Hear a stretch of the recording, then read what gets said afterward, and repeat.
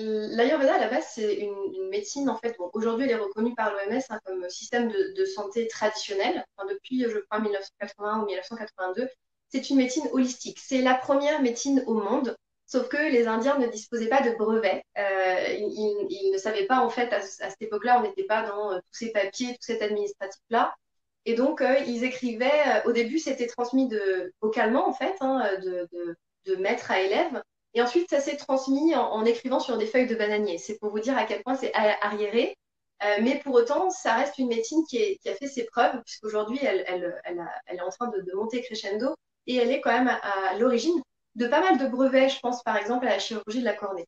Et donc, l'Ayurveda, c'est une médecine holistique. Et quand on entend holistique, c'est-à-dire que c'est une médecine très globale, qui va, vraiment cibler toutes les parties de votre être. En fait, elle, euh, elle considère d'ailleurs que euh, le psyché a autant d'impact sur l'émotionnel que l'émotionnel a d'impact sur le physique, que tout est intercorrélé. Et en fait, c'est ce que je vous disais euh, là un petit peu avant, c'est que c'est une médecine de l'écoute.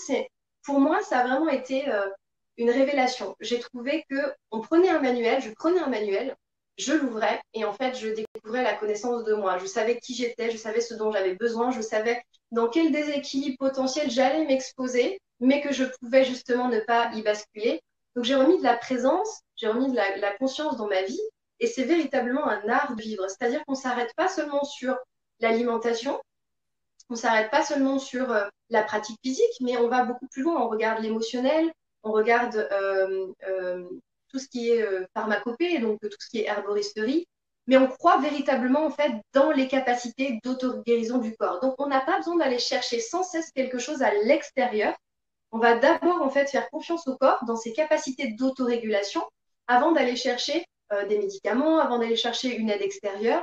Et surtout, ce que j'aime dans l'Ayurveda, c'est qu'il n'y a pas de ligne tracée. C'est-à-dire que nous sommes, je ne sais pas, voilà, des milliards d'êtres humains sur la planète. Eh bien, on est des milliards d'êtres humains à avoir des besoins différents. On est des milliards à avoir une ligne différente, une taille, un psyché différent, une histoire, un parcours. Et tout ça, l'Ayurveda le prend en fait dans ses bras en considération elle considère que vous êtes un tout. Et, euh, ce que j'aime aussi, c'est cette euh, reliance en fait avec le sacré et avec le naturel. C'est-à-dire que c'est une médecine qui, euh, qui en fait considère que les règles du macrocosme, donc c'est-à-dire les règles de, l'univers, de la nature, des saisons, eh bien, sont exactement les mêmes règles qui s'appliquent à nous, le microcosme. Donc tout ce qui est régi, les saisons extérieures, par exemple, bah, vous avez, nous, nous avons des saisons intérieures. Et ça, c'est très important à comprendre parce que c'est vraiment les, fondations de l'Ayurveda, elles se basent sur la nature, sa capacité d'autorégulation.